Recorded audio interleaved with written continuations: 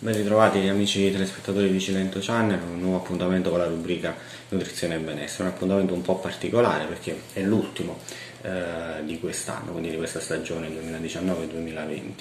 Eh, questa volta parleremo della corretta alimentazione durante il periodo estivo, infatti sta per arrivare eh, l'estate e quindi soprattutto quest'anno che veniamo da un periodo così difficile c'è ancora di più la voglia di, di mare, di montagna o comunque in generale di, eh, di vacanze. Eh, l'estate infatti la, ci dà l'opportunità di stare di più all'aria aperta, quindi di passeggiare, ma anche di mangiare fuori con gli amici, sempre nel rispetto ovviamente di, quei, di quelle norme eh, sanitarie e dei dispositivi di protezione che ci vengono eh, giustamente richiesti e che dobbiamo rispettare. L'estate però è anche il periodo in cui possiamo pensare di più eh, alla nostra salute, una cosa che dovremmo fare ovviamente sempre durante tutto l'anno, ancora di più chi soffre di determinate mh, patologie, però soprattutto quest'anno che veniamo da un periodo di quarantena eh, forzata eh, che ha squilibrato la dieta e l'alimentazione di tanti italiani, dobbiamo porre in essere delle regole eh, generali per affrontare al meglio questo periodo estivo. Infatti eh, l'estate con le alte temperature ci porta un po' a un rallentamento dei processi digestivi, a maggiore sudor- sudorazione, quindi con un rischio anche di disidratazione, di perdita di sali minerali eh, e di vitamine. Quindi cosa eh, possiamo fare? Beh, innanzitutto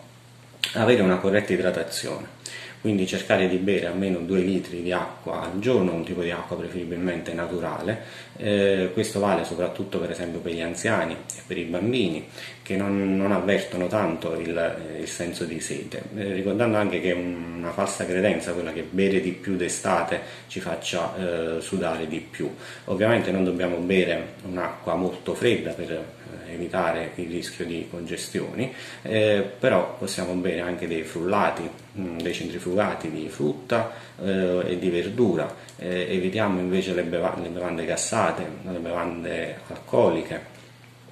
e cerchiamo appunto anche di aiutarci magari con delle tisane eh, fredde che ci aiutano appunto a raggiungere il giusto grado di idratazione. Mangiamo anche dei cibi molto ricchi di acqua, quindi preferibilmente frutta e verdura che ci permettono di reintegrare sali minerali importanti come il magnesio, il potassio, ma anche eh, tutte le, eh, le vitamine. Ehm, durante l'estate è opportuno anche moderare un po' l'apporto calorico eh, totale eh, e quindi prediligere dei pasti eh, molto freschi, eh, leggeri, con dei metodi di cottura molto semplici, quindi eh, a vapore, a forno, alla griglia, che permettono anche di esaltare le proprietà nutrizionali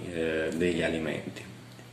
Nello specifico cosa possiamo fare? Sicuramente di evitare i formaggi grassi, le fritture, le carni rosse, i sughi molto eh, conditi, molto elaborati, a favore invece di eh, cereali integrali, quindi pasta, riso, anche sotto forma di insalate, quindi di, di paste fredde o di insalate di riso. Prediligere il pesce azzurro, le carni bianche eh, frutta e verdura, come, abbiamo detto, magari con degli spuntini che possono essere a base di yogurt, oppure dei sorbetti artigianali alla frutta o eh, ad esempio delle granite. Eh, moderiamo il consumo di sale in favore de- delle spezie, cerchiamo di variare in generale il più possibile l'alimentazione, ehm, facendo attenzione anche ai tanti colori eh, che troviamo nei cibi, perché ogni colore vuol dire una ricchezza di eh, molecole, di nutrienti, soprattutto di sostanze antiossidanti che fanno bene per la nostra, eh, per la nostra salute. Ehm, facciamo attenzione anche ai metodi di conservazione degli alimenti, soprattutto durante l'estate per la catena del freddo, per quegli alimenti che lo, eh, che lo richiedono. Ovviamente poi estate eh, vuol dire anche come abbiamo detto voglia di mare, quindi di, anche di, di, avere una bella abbronzatura. In questo ci, vengono, eh, ci viene in aiuto il, il beta-carotene, che è questo pigmento che dà un colore dal giallo al rosso a determinati alimenti e mh, alcuni cibi che mh, lo contengono di più sono sicuramente le albicocche, le carote, il melone, il pomodoro, eh, i peperoni, ma eh, tanti altri. Ricordiamo però che ehm, il beta carotene in generale ci aiuta ad ottenere una bronzatura più bella, eh, però non ci protegge dai raggi UV del sole, quindi quando ci esponiamo al sole lo dobbiamo fare sempre con attenzione, proteggendoci anche con delle creme, seguendo i consigli del dermatologo e comunque in generale ehm, diciamo, esponendoci in maniera progressiva ai raggi del sole, non nelle ore ovviamente eh, più calde. Bene, detto questo, come vi dicevo all'inizio, è l'ultimo appuntamento per,